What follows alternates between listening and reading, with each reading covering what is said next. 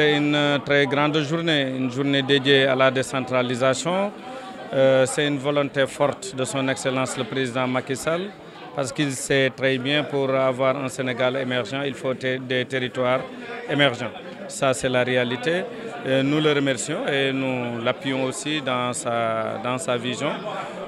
comme vous le savez, je dirige la GTIP et la GTIP est l'un des bras techniques du gouvernement du Sénégal pour, comment dirais-je, la matérialisation de l'acte 3 de la décentralisation. Voilà, donc, comme vous le savez, c'est une journée des exécutifs locaux et les structures de l'État sont là pour écouter son Excellence et le discours a été très bien perçu.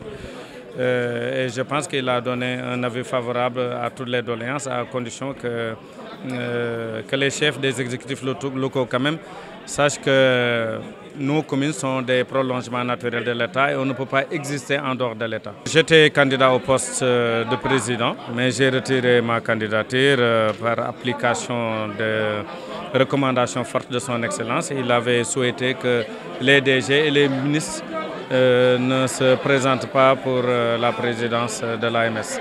Donc c'est ça, nous avons retiré et nous remercions le président parce que notre volonté c'était de le servir, de servir l'État.